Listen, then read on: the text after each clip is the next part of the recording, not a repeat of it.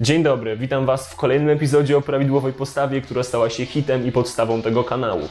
Dzisiaj dokładamy kolejną cegiełkę, czyli odstające łopatki. Mówiąc odstające, mam tu na myśli łopatki, które nie dość, że rozjeżdżają się na bok i do góry od kręgosłupa, to jeszcze w pewien podstępny sposób odklejają się od tylnej ściany klatki piersiowej, przez co ich brzegi przyśrodkowe dziwnie wystają, co jest widoczne nawet w koszulce. Chyba w każdym wideo postawie będę musiał to powiedzieć. Ludzie myślą, że jeżeli mają jakąś cechę, na przykład właśnie odstające łopatki, to to, jak już mają 20 lat, to jest wszystko kostnie utwierdzone, to jest już nie do zmiany, no i taki twój urok, niestety nie możesz nic z tym zrobić. Błąd, nic bardziej mylnego. Ludzkie ciało jest niebywale plastyczne, a zwłaszcza łopatka. Dlaczego? Ponieważ łopatka to jest taki twór kostny, który jest totalnie zatopiony w mięśniach. Przyczepia się do niej 17 mięśni i to one decydują o jej ułożeniu w przestrzeni. Nic innego. Jeżeli Twoje łopatki odstają, to znaczy, że niektóre mięśnie są zbyt przykurczone, a niektóre nie są wydolne i przez to ślizg łopatki jest zaburzony i cała jej mechanika też jest niestabilna i przez to odstaje. A teraz szybka piguła wiedzy, czyli to, co musisz wiedzieć. Tak jak powiedziałem, Twoja łopatka jest zatopiona totalnie w mięśniach. Jedyne połączenie, jakie ma, z resztą ciała, jest poprzez obojczyk z przodu. Tak, dla niektórych z Was może się to wydać szokujące. Oprócz tego, łopatka ma swoje ruchy i fizjologiczną ruchomość. To znaczy, na przykład, gdy podnosimy rękę do góry, to łopatka rotuje się do góry, gdy opuszczamy rękę, to rotuje się w dół w pewien specyficzny sposób, odsuwając swoje brzegi, rozjeżdżając się, i ten ruch jest bardzo ważny. Oprócz tego mamy coś takiego jak elewację, czyli podniesienie do góry łopatki, i depresję, czyli schowanie w dół, protrakcję, czyli wysunięcie do przodu, i retrakcję, czyli cofnięcie do tyłu. Ruchomość łopatki jest bardzo ważna. Gdy ruchomość łopatki jest zaburzona, to znaczy któreś mięśnie są niewydolne, to inne stawy naszego całego kompleksu barkowego muszą pracować mocniej i kompensować. To znaczy, gdy łopatka jest niemobilna, niestabilna, to bardzo możliwe, że staw ramienny albo staw mostkowo-bojczykowo, mostkowo-bojczykowy, barkowo-bojczykowy będą musiały nadrabiać i boleć. I bardzo często z tego właśnie wynika ból barku. Tak więc mamy tutaj połączenie między odstającymi łopatkami a bolącymi barkami. Tak więc lepiej się sprawdźcie. Dobra, czas na mięśnie, bo nie ma czasu. Najważniejszym mięśniem w tej wadzie jest mięsień zębaty przedni. Kto nigdy nie uczył się anatomii, niech od razu leci do Google grafiki, wpisze go sobie tam, obejrzy kilka obrazków, bo inaczej nic nie zrozumie. Przyczepia się on na brzegu przyśrodkowym łopatki i biegnie tak od wewnętrznej jej strony aż do żeber. Jego funkcją jest protrakcja łopatki, czyli wysunięcie jej do przodu, ale wraz z dociśnięciem jej do kręgosłupa. I właśnie to jest tutaj klucz. Tutaj jest cały pies pogrzebany, ponieważ protrakcja często kojarzy nam się źle, że protrakcja jest powiązana ze złą postawą i to jest prawda. Ale to jest protrakcja niewydolna, wynikająca z przykurczu innych mięśni, które zaraz omówię, a nie z naturalnej, dobrej protrakcji i stabilizacji łopatki poprzez mięsień zębaty przedni. Ale jeszcze szybko o tym, dlaczego ten mięsień zębaty przedni jest w ogóle niewydolny.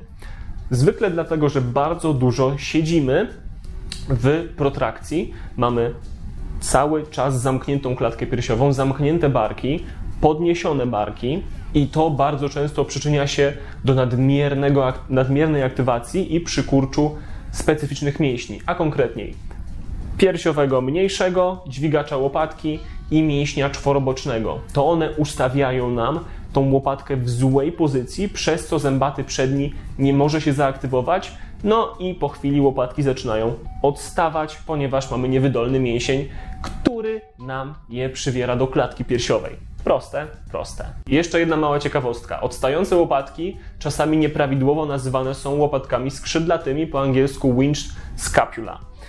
Jest to termin nieprawidłowy, ponieważ łopatka skrzydlata to jest normalna, kliniczna dysfunkcja powiązana z porażeniem nerwu, który notabene zaopatruje właśnie mięsień zębaty przedni.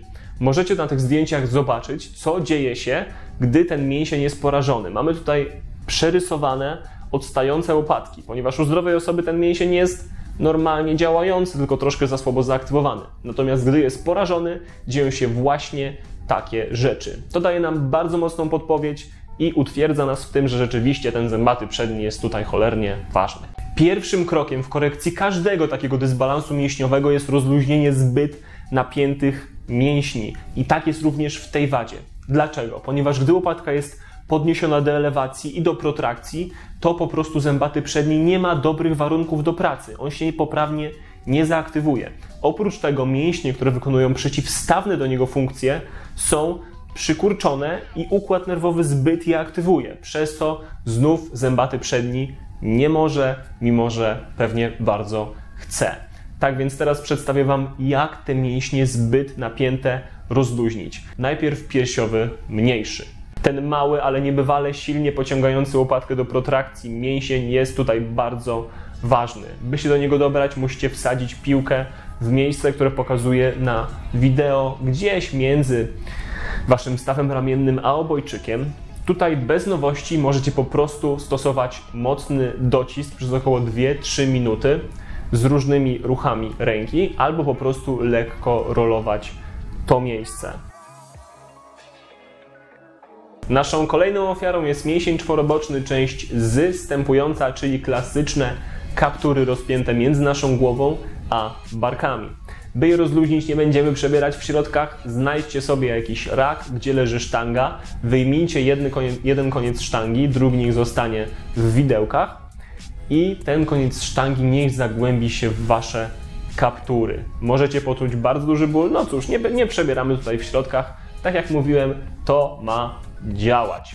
By zwiększyć doznania, jeżeli czujecie mało, odchylcie głowę w drugą stronę. To rozluźni kaptura. Ostatnim hultajem do rozluźnienia jest dźwigacz łopatki, który jest bardzo mocnym jej elewatorem. Będziemy szukać piłką jego przyczepu początkowego, który jest na kącie górnym łopatki. Pokażę Wam na wideo, gdzie to jest. Musicie oprzeć się o ścianę i właśnie tam wcelować piłką.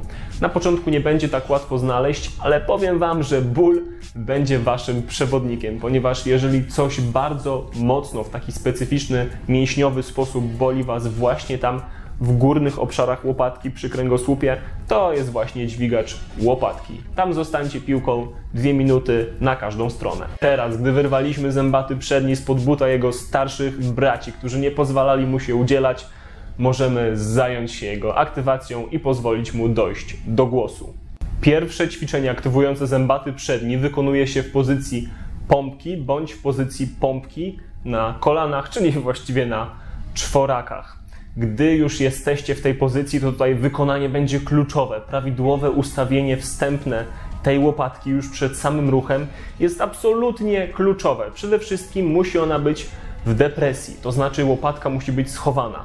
Myślcie o tym, wyciągajcie głowy do góry, niech szyja będzie długa, barki nie mogą iść do uszu, muszą być w dole. I wtedy wypchnijcie je lekko do przodu, do protrakcji.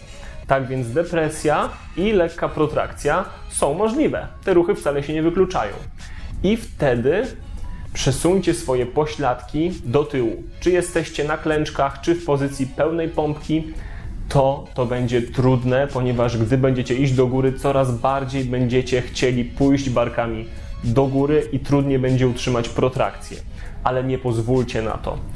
Kołyszcie się powoli w tą i z powrotem, utrzymując dobrą protrakcję i depresję.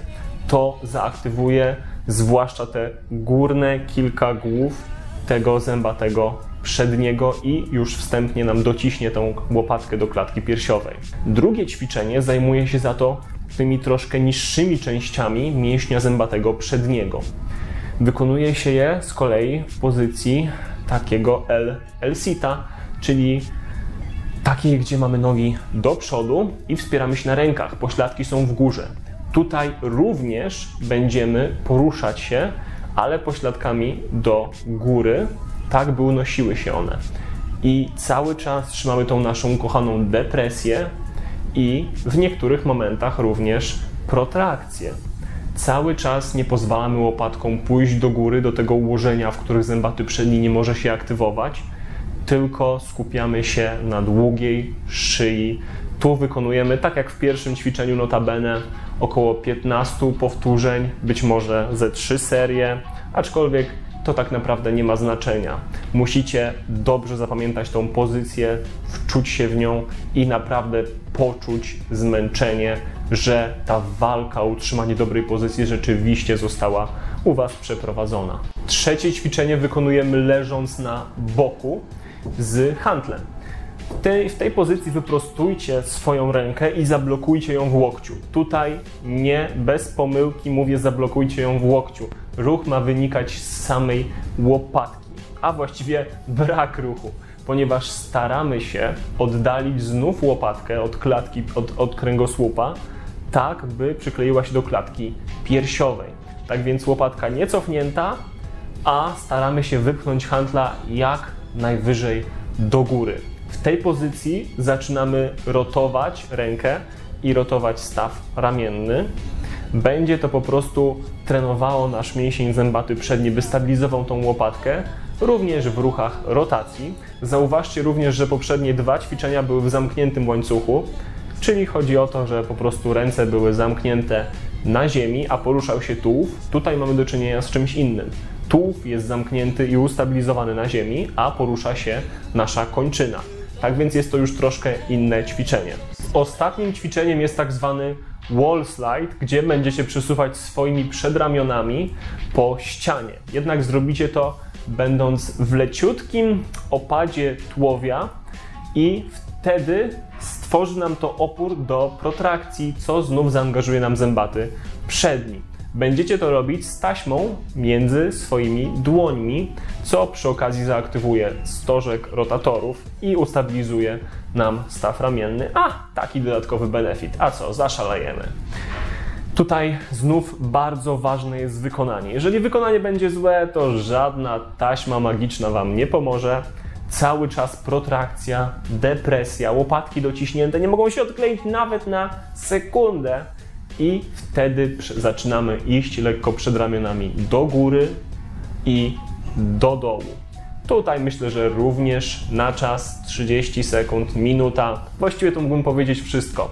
Najważniejsze jest to, żebyście robili to z uwagą i czuli efekt, progresowali, żebyście czuli, że to również ma jakiś sens. Jeżeli chodzi o ćwiczenia i instrukcje, to już wszystko. Moja anatomiczna dusza troszkę cierpi, że nie mogę Wam tego wszystkiego tak dokładnie wytłumaczyć i zobrazować, ale niestety takie są realia YouTube i takie są realia po prostu czasu. No niestety nie chcę, żeby to wideo trwało 20 minut. Te ćwiczenia, które pokazałem, nie są jedynymi, ponieważ odstające łopatki są często powiązane z ogólnie słabą postawą kręgosłupa piersiowego, z pogłębioną kifozą, pogłębioną tutaj protrakcją całej szyi i głowy, tak więc odsyłam Was koniecznie do moich innych wideo. Zapewne, gdy zintegrujecie te działania, to będziecie mogli uzyskać najlepszy efekt. Zwykle przy układaniu jakiegoś programu korekcyjnego łączę te wszystkie działania na podstawie obserwacji tej osoby. No cóż, jeżeli się nie spotkamy, to nie, ma, nie mamy niestety takiej możliwości, ale po prostu to znaczy, że Wy musicie nauczyć się widzieć, co jest przykurczone, co wymaga aktywacji. No niestety to wymaga trochę czasu. Na szczęście macie moje filmy. W każdym razie dziękuję Wam za oglądanie. Jeżeli macie jakieś pytania, jeżeli o czymś zapomniałem, to oczywiście jestem w dyspozycji w komentarzach i trzymajcie się. Do zobaczenia.